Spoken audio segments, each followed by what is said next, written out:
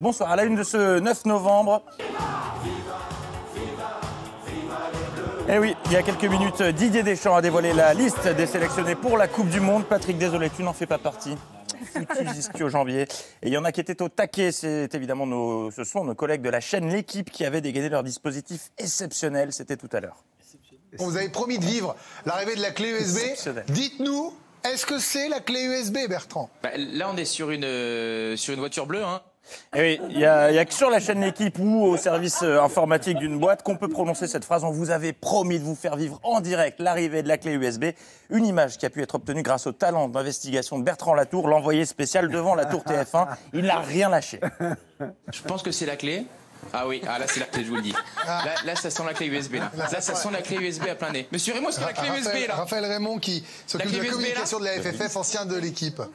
On peut avoir la liste ou pas, Raphaël? Oui, il y a la liste de- dans la clé. Dans la clé USB. Ah ben oui.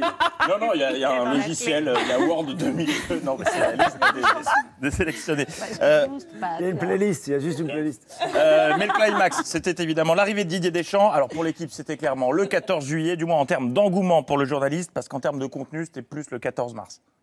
Ça y est, le sélectionneur Didier Deschamps est arrivé. Vous le voyez, à tout sourire. Costume bleu. Est-ce que vous avez réussi à lui sou- soutirer la liste? Non, je lui ai dit bonsoir Didier, il m'a répondu bonsoir, donc euh, il est faut aussi poli, donc on est content.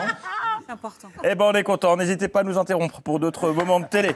Euh, politique, enfin, politics, c'est l'événement aux États-Unis, les élections de mi-mandat, ou comme on les appelle quand on regarde les films en VO, les midterms, couvertes sur toutes les chaînes info par des journalistes qui ont le même niveau d'anglais que moi. Avec Fred Hoffman, bonjour porte-parole des démocrates About France. All right, my dear.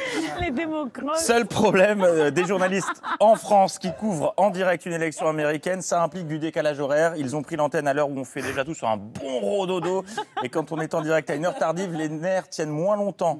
Ceux de Laurent Saïm notamment. Dans les chaînes mainstream, celles que regarde Madame Haïm, puisqu'elle ne regarde pas Fox News. Donc non, non, mais je rigole. Non, je on a le droit de. Fox News pour comprendre. Mais le attendez, journalisme. mais on a le droit de vous taquiner. Non, pas sur Pas des du tout, bon. Non, parce que là, en fait, il est 2h du matin, je me suis déplacé jusqu'à Boulogne, c'est pas pour me faire insulter. Et Il y en a un qui a passé une bonne soirée, en tout cas, c'est Antoine Lard de BFM, sous couvert de traiter les midterms. Euh, il a surtout passé les- la nuit dans des bars. C'était David Guetta avec une carte de presse. Ce qui a permis, en tout cas la dernière fois, euh, de, de le battre euh, avec Joe Biden. Regardez autour de moi, il y a un peu de monde dans ce bar. Ouais, mais là, je vais vous devoir vous laisser, Maxime Futek, parce qu'il y a mon lap dance avec Stacy qui va commencer. On reprenez l'antenne, on se retrouve après. Non, vraiment, les duplex d'Antoine Lard étaient curieux. Dans quel monde? Dans quel monde? À part le sien, les intervenants déboulent dans le champ comme ça pour parler politique. Elle est là, Sarah. Hi, Sarah. Thank you for being with us. Hello Sarah, merci d'être avec nous. Mais d'où sort-elle? Il y, a, il y a un truc, je ne sais pas lequel, mais il y a, une trappe. il y a une trappe, il y a une trappe à inviter.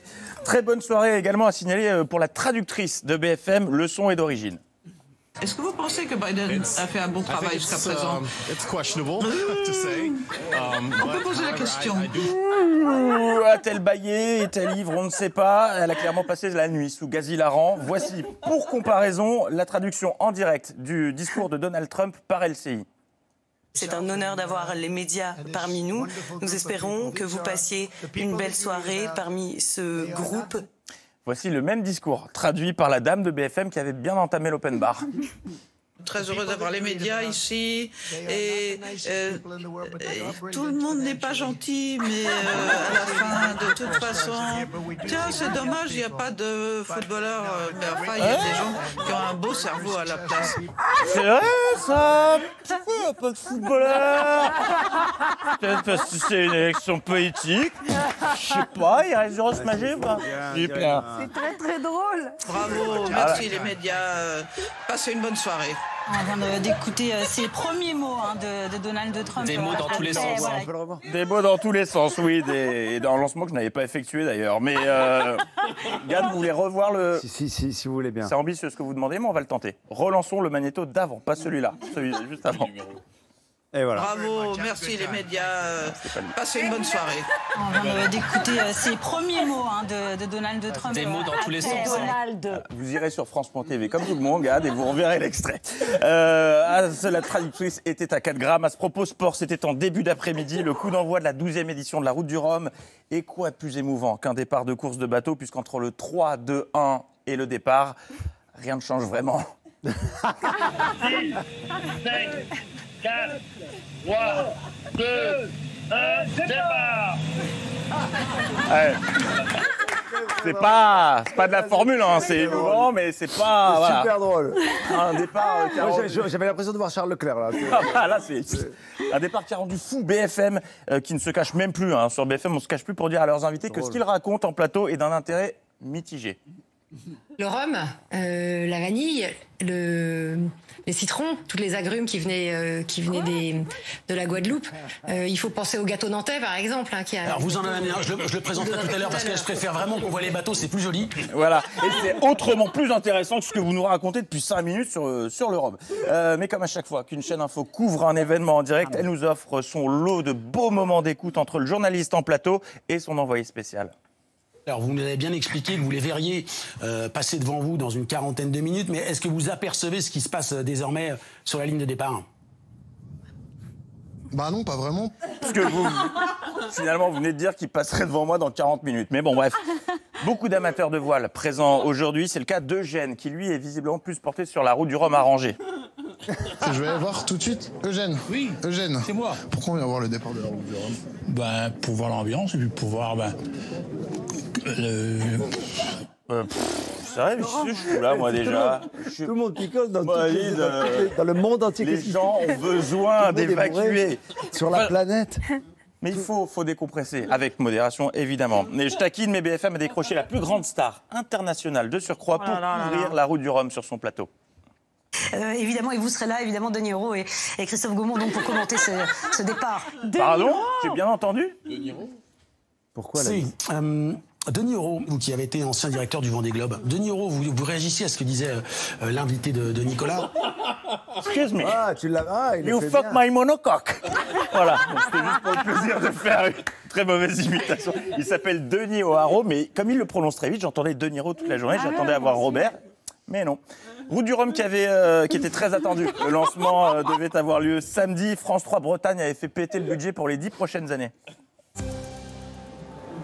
Bonsoir, soyez les bienvenus dans Ah bah, votre drone. 19-20 régional, décor de circonstance. Bien sûr, studio à euh, l'extérieur et tout y quanti, sauf qu'entre-temps, le départ a été reporté.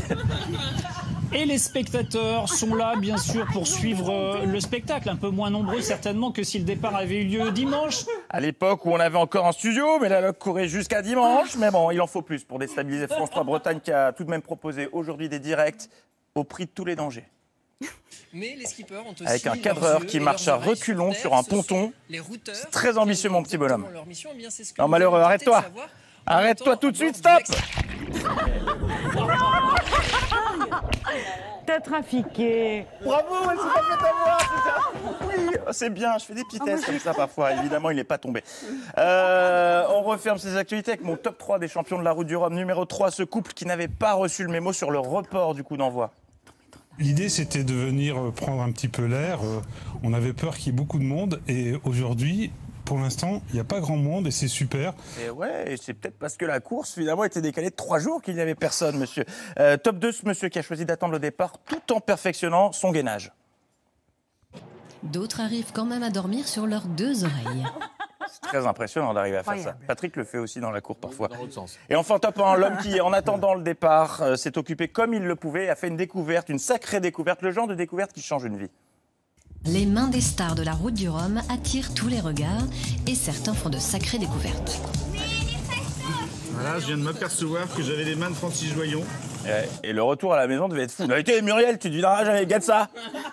J'ai les mains de Francis Joyon. Et ben c'est super ça, l'info continue demain. Euh, bonne soirée. Bravo